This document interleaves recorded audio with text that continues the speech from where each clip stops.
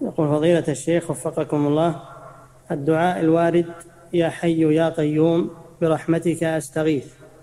كيف نجمع بينه وبين النهي عن دعاء الصفة؟ هذا ما هو بدعاء للصفة يا أخي هذا توسل بالصفة.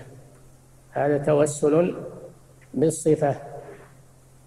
مثل أسأل أسأله بأسمائه وصفاته بأسمائه هذا توسل بالأسماء والصفات. الرحمة من صفاته سبحانه. هو توسل بالصفة وليس دعاء لها ما قال يا رحمة الله؟